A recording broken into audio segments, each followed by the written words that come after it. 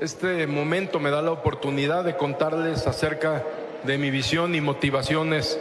de, que me impulsaron a participar en este proceso interno y que me permite con, compartir con ustedes un poco de lo que pienso y también de lo que se ha, se ha dicho.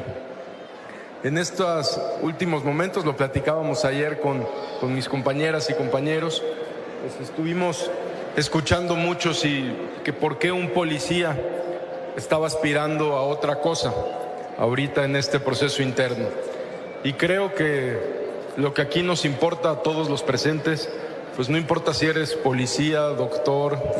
a lo que te dediques, lo que queremos es gente que resuelva, que sea un servidor público confiable, que tome su trabajo, el que sea, cualquiera que sea el trabajo que nos toque hacer,